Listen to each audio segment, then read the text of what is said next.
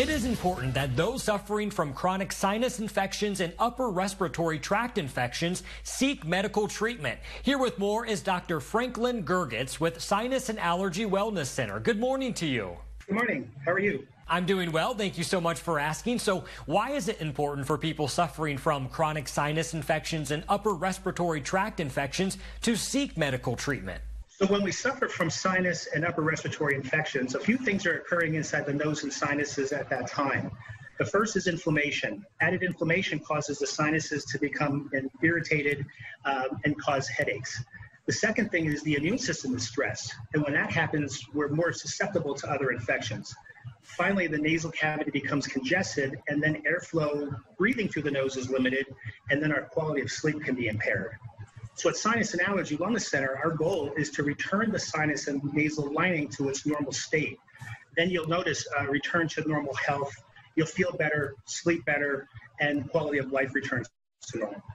Well, how can you help people find lasting relief from chronic sinus infections and upper respiratory tract infections? Well, that's a great question.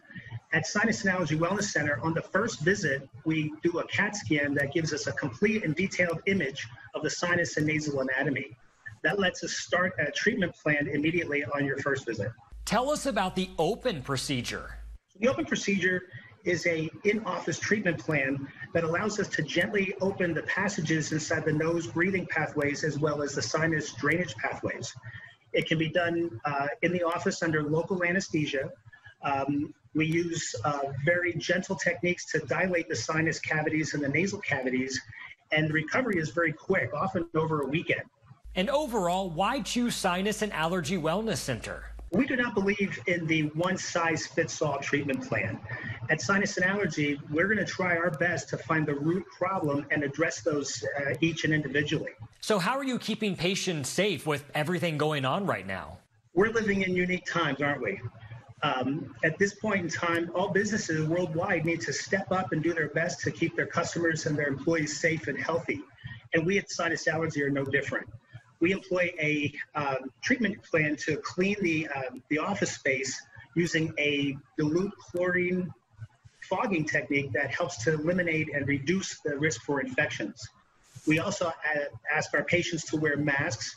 We do temperature checks and do a complete detailed evaluation for COVID 19 risks.